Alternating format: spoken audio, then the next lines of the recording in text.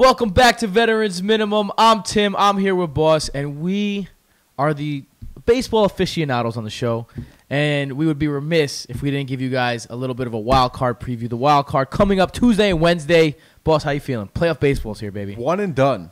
One and done. One and done. So hard. 162 games comes down to one game. Pretty crazy. I, I'm actually going to the AL game. Obviously, it's here. I'm a Yankee fan. You know, I figured had to splurge on tickets. They're a bit costly, say the A bit. a bit costly. but uh, yeah, it's you know I'm looking forward to it. It's tomorrow, and it's always been on my mind since I bought the tickets like last week. Yeah, I would imagine. I remember It's- last year when the yeah. Mets were in it.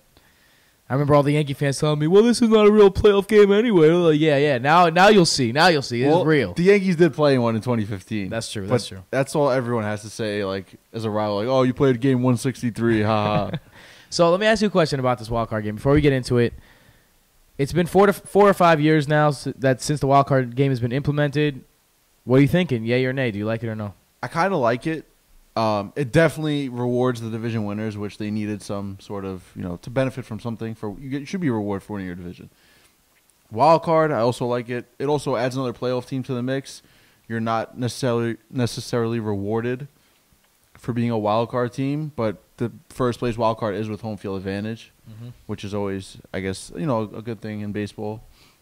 Um, but yeah, I mean, I feel like it could use some tweaks. I think I mentioned it before how we there's been mentioned of two games where the home team hosts the number one wild card would host two home games and they just have to win one of them, Mm. whereas the road team would have to win two. I kind of like that, you know, change to it. That would be a, bit. really big swing to the first wild card.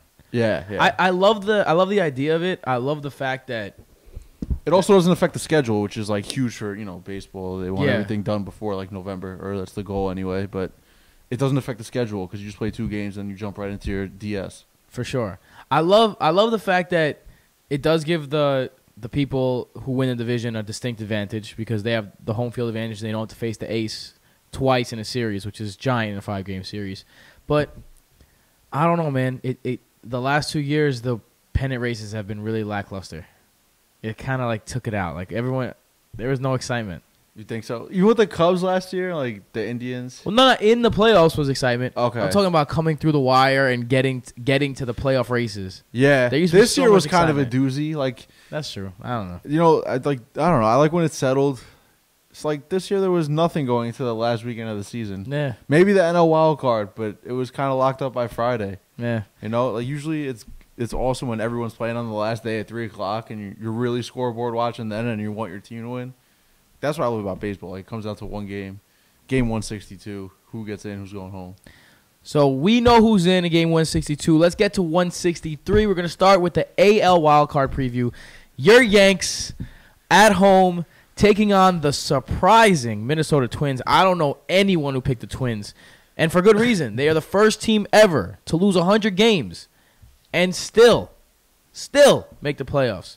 Uh, how you feeling about this matchup? The way we're going to do this is we're going to give edges, we're going to go pitching, we're going to go hitting, then we're going to give an X factor, and then we're going to give a winner for each one. So let's start with the pitching. Uh, Ervin Santana going up against your boy Luis Severino. Luis Severino, the the newest the newest ace of the Yankees. Not a rookie, but might as well be a rookie. That's right, you know, newest ace of the Yankees. So who do you have getting the edge in this one? I'm giving the pitching edge to the Yankees. You know, Luis Severino showed ace stuff this year, like you said, all season long. Sure, he's had his bad outings, but who doesn't have a bad outing now and then? He also has the highest average fastball for starters in the AL at 97, 97 and a half miles per hour. So that is a huge advantage when you're throwing his off-speed slider, which is his strikeout pitch. His fastball is also his strikeout pitch, Hmm. but still a huge advantage when you can blow a fastball by anyone.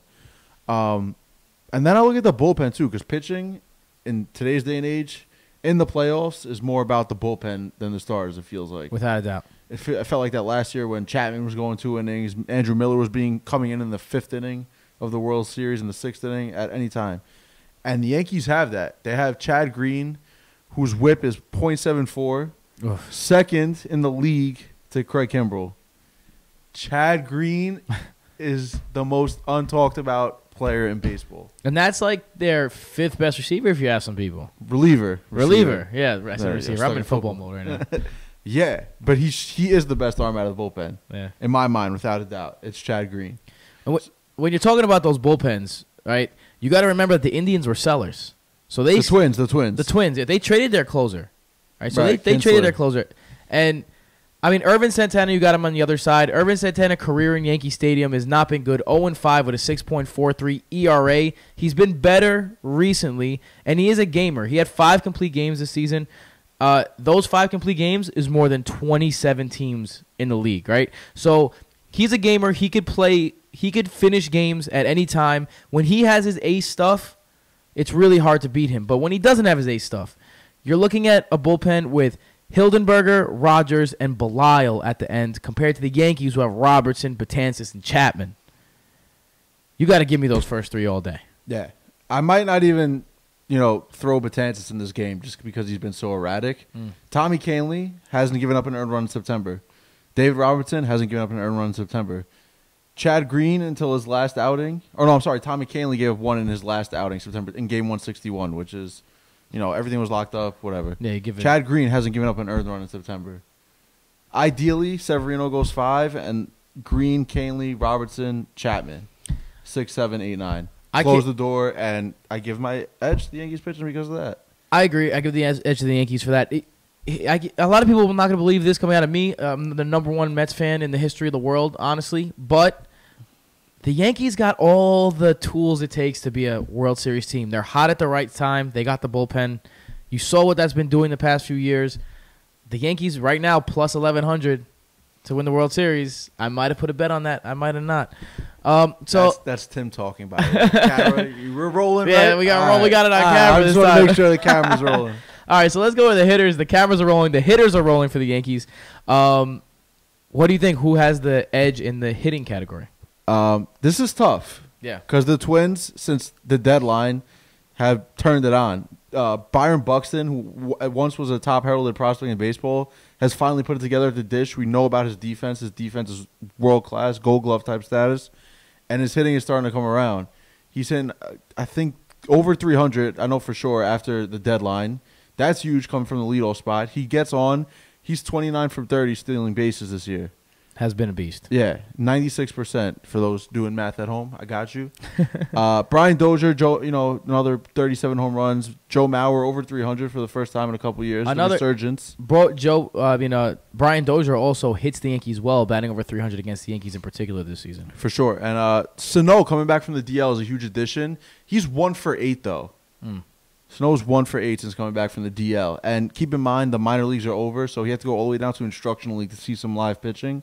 And when you come from instructional league to the majors, it's a you know a bit of an adjustment for anyone. Different kind of instruction. Uh, Uh, so, So- that the Twins have, do have a potent lineup. The Yankees, on the other hand, Brian Cashman needs to be really seen as one of the best GMs of all time. That's in my caps, Brian Cashman. He, I mean, Didi Gregorius, he was a complete washout, and then all of a sudden he comes here, sets the Yankees records for home run by a shortstop in the shadow of Derek Jeter. Could not be a larger shadow cast. These young kids coming up and playing well. Uh, the guy I'm looking for is Aaron Judge, right? Aaron Judge has been historically good this year, but he's also been historically at bad at certain points. The fact that we're home, that the Yankees, I said we're. What is happening to like me? Uh, like the it. fact the fact that the Yankees are home uh, does well for him. He bats 33 points higher at home than he does on the road, and hit 33 of his home runs at home. A Yankee record broke Babe Ruth's old record. That whenever you you and Babe Ruth are in the same sentence, pretty good sentence. So I want to see what he does in the postseason. This he's a young kid. Uh, he just came into stardom. He just came into his own. Can he handle the bright lights of the postseason in Yankee Stadium? And it's going to be this game. Is he has to show up. And I think if Aaron Judge decides to be the great Aaron Judge and what he's done all year at home instead of that one Aaron Judge that we saw for a month completely just shit the bed. Uh, I think Aaron Judge is the X factor here, and I think that's the reason why the Yankees get the tip, get my nod. Yeah, I give the as much as I did talk up the Twins, I give the Yankees the edge too. I just want to read off the this two, three, four, five hitters from 2015, the 2015 wild card game. Chris Young, no longer with the team. Carlos Beltran, no longer with the team. Alex Rodriguez no longer with the team. Mm. Brian McCann no longer with the team. You replace that this year with Aaron Judge, Gary Sanchez, who had a historic year, most ca- uh, most home runs for a catcher in Yankees history, who's overshadowed by Judge. Yeah. Monster follow up year to his 20 home runs last year. And those are impressive catchers in Yankee history. Yeah, um, led the league, led catchers in the league in home runs as well. Uh, Didi Gregorius, as Tim mentioned, and Starlin Castro, who had 300 this year. So all young, refreshing bats, a complete change, and it only took a year and a half, well, two years, Brian two Cashman, full seasons. I tip my hat to you. I'll take my hat off, but I'm way too bald to be on camera with no hat on. Um, But yeah, so I give the Yankees the edge there. Um, yeah, I think they, you know, the Twins, like I said, are hot, but I'm giving it to the Yankees, whose run differential was also second best in baseball. we have so we both give the Yankees the pitching and hitting, uh, the pitching and hitting advantage. Excuse me. So what's the X factor? What's going to play a role here that could make the Twins either win or make the Yankees really put it away and have their better tools actually come to place and build a better game? Miguel Sano. Okay. Hundred percent, Miguel Sano. He missed 38 games after fouling that ball off his shin in August, and uh, like I said, one for eight since. Two appearances at DH, one pinch hitting where he went 0 for one.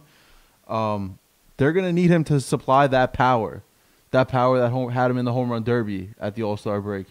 He's a presence in the middle of the order, a feared presence. You know, with him, Mauer, Dozier, big power outlets for them. So, is he gonna be able in one game?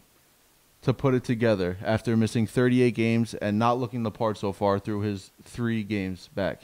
That big bet is definitely going to be something. My X factor is the catchers, and not at the plate, behind the dish. I call the catchers wild. That's right, cleverness. Uh, Gary Sanchez, everyone knows he's had a struggle with pass balls. Uh, he's not the best of defenders back there. Mike Piazza esque um, in terms of very much in there for his bat and not exactly for his defense. Um, Jason Castro, on the other hand, though, allowed two pass balls last time Ervin Santana started in Yankee Stadium, and the Yankees bo- and the Yankees stole four bla- four bases in that game. If the Yankees can steal four bases in this game, I see the Minnesota Twins having a hard time winning it. So, keeping the ball in front of you if you're the catcher could be the X factor in this game. I really like that as the X factor. So, now that we have all the factors in the factor box, boss, Fact, the facto box, the facto box, who you got winning? Um, the Yankees. Who would have guessed? Surprise, surprise. The Yankees. I think they put it all together. Their lineup. I think if they could scratch across three runs early, Santana throws strikes. So the Yankees got to be swinging, and I think swinging early in counts. I'm not worried about building his pitch count up. Um, you know, he's he's a strike thrower. So get after him, put the pressure on him. You know, make him work around the zone a little bit. Don't let him just live over the, the plate all day. And get some runs early. Get two two runs, three runs early, and hand it over to the bullpen. You know, Severino's probably, you know, if they win, I'm not saying they're going to win. If they win, he's going to be starting game three on regular rest. Mhm. So he can go as deep as he wants in this game. True that. So I like the Yankees here, man. The Twins are very good. They've had a phenomenal year, but they're playing with house money at this at this point. You know, hundred loss team, as you said as we started this off, and now look at them. You know, Good. I think it's the Yankees' game to lose. The first thing that goes through my mind, or what went through any, any could go through anyone's mind, when we're talking about how does a 100 team, 100 loss team become a playoff team, especially when they're 12 games under 500 against current playoff teams right now. How could a team with those kind of stats make the playoffs? Well, first of all, they have 85 wins. It's a down year in the AL. Second, they feasted on the bottom of the AL Central. They're 12 games over 500 on those bottom feeders, right? So a lot of things went in the Twins' favor that doesn't support them.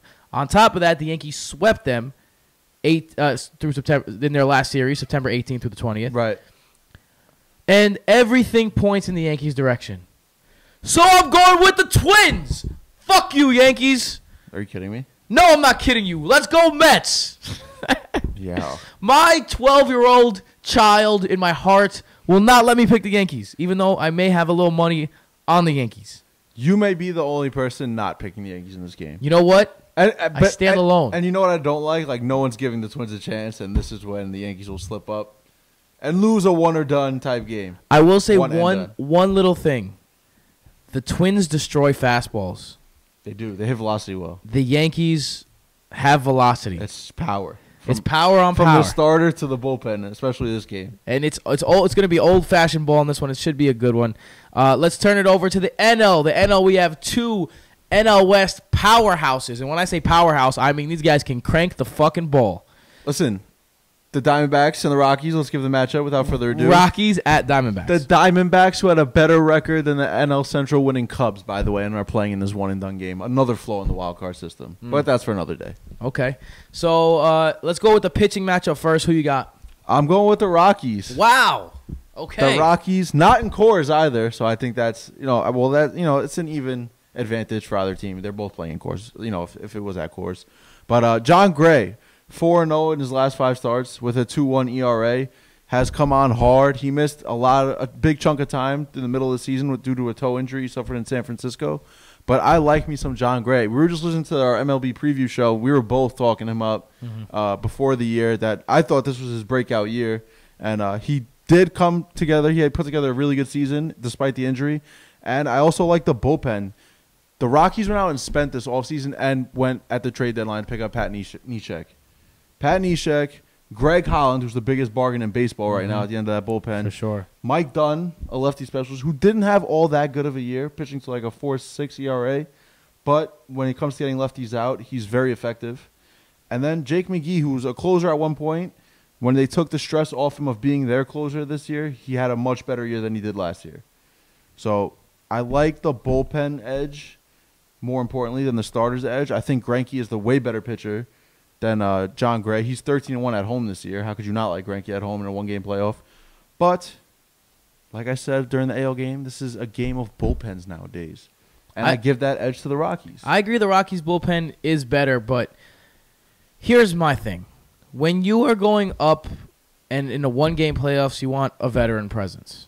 You want someone who's been there. Now, in the other in the other game, we didn't see we don't see any veteran presence. Ervin Santana doesn't have a lot of playoff experience, and Luis Severino obviously has no playoff Right. experience, right? In this case, you got a guy in Zach Greinke who is a former Cy Young winner, has tons of playoff experience, has ton tons of uh, race experience, uh, pennant race experience, just tons of experience. He's been on the bottom of the bottoms and the highest of the highs in his career.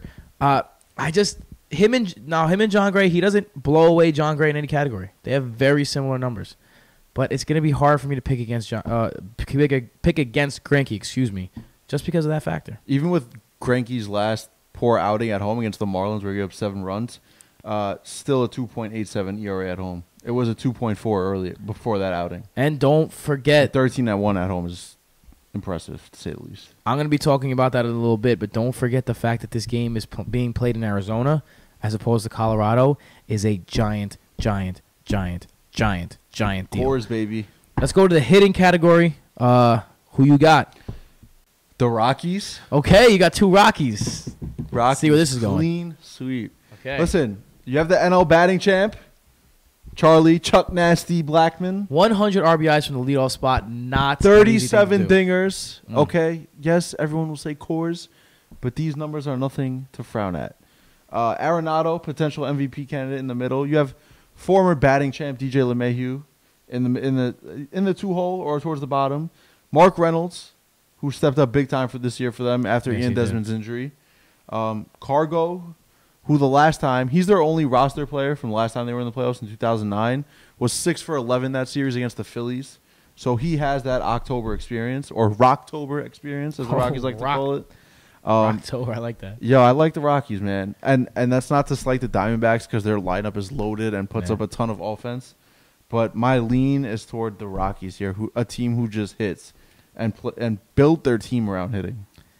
I'm gonna lean D-backs on this one. I know it's hard to think about. All right, the Rockies obviously have the better lineup if you're looking at it player for player, although it's pretty close. It is very close. Yeah, these guys can rake. Um, but I'm looking at one guy, JD Martinez. Since he has been acquired, this team has had a completely different feel to them, a completely different type of swagger. Um, and he's doing his best work right now. 16 home runs in September. That is the record for the NL. Uh, It, on the season, he's batting 303, 45 home runs, on over 1,000 OPS, really dominating the baseball. And when you talk to him and you talk to his teammates, you could see that they want it. They want it bad. They were. They think they feel like they were supposed to be here last year. If you remember about talking about baseball previews, the Cinderella team that was the Rockies this year was the Diamondbacks last year. Everyone was on the Diamondbacks after they signed Zach Greinke. They shit the bed after They were talking about blowing it up at the end of the year. They they were talking about blowing it up. Luckily, they didn't, and they added a giant piece in JD Martinez, who he he probably should be the NL MVP, except he didn't play the whole year in the NL. yeah, he But has twen- my bad, country. He has Yeah. 29 homers and 65 RBIs since joining them in mid July or late July. I shouldn't say mid July. That's unfucking believable. Yeah. Honestly, That So- four home run game comes to mind against the, the Dodgers. Yeah, Keep in mind, these two teams are the only two teams in baseball to beat the Dodgers in a season series this year. 10 9 and 11 8. 11 8 were the D backs, 10 9 Rockies. I'm not gonna lie, I didn't know that, and you just took me aback a little bit of how good the Dodgers are. Yeah. If, if in case anyone forgot how good the Dodgers are so far this season, we're gonna get to that. I promise. Uh, not here. We're gonna be go- going over that in our baseball preview. Look out for that on our iPod. Uh, I mean, on our podcast. Excuse me. if you got an iPod, If you got your iPod, do it. hey, More likely have an iPhone I'm sure you still have an iPod. You like somewhere, crack me as an iPod guy. dude. I I used to carry around my BlackBerry with so much pride when iPhones first came out. Yo, I had a BlackBerry till like the last possible day. Me too, man. Like, I used to love the iPhone. keyboard. Till my BBM contacts were dwindling, and I was like, all right, well, you Yeah, know. no one, no one wants a BBM anymore. Yeah. Remember when BBM almost made a comeback a few years ago? No. This has gone off the rails. All right. um, who do you got in this series? Uh, X Factor, maybe? Who's your X factor in this series? Uh, AJ Pollock, Okay. who missed a ton of time, came back this year. Um, I think him and David Peralta, who, who may hit one two, should hit one two, uh, are going to be the table setters. And I think they need to get on because we know, like we talked about, Charlie Blackmon hitting champ. It will be on base for them, or should you know? So his average dictates he will be on base that game. And DJ LeMahieu is capable of getting on base. So I think these two got to get on for the JD Martinez's, for the Paul Goldschmidts, for the Jake Lambs, who we didn't even talk about, who had a Mhm. low year in average, but still hit the cover off the ball when it comes to the dingers. Um, yeah, those two got to get on base for the for the meat of the order. For sure. Um, my X factor is the home field advantage. Uh, it's hard to ignore the splits between the Rockies uh, on the road and the Rockies at home. It's been like that since the Rockies have had Vinny Castilla in the middle of their lineup um, and Dante Bichette. Like it's it's just been that way the whole time. The uh, this year the Diamondbacks are 11 and 8 against the Rockies, and the Rockies are only batting 200 at Chase Field, formerly known as the Bob.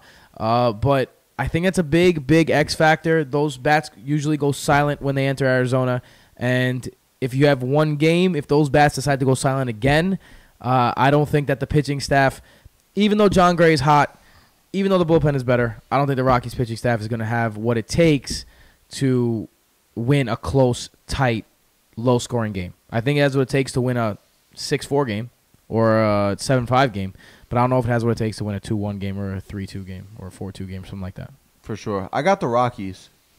Um, we talk about the bullpens. Fernando Rodney to me is the biggest enigma in baseball. Mm.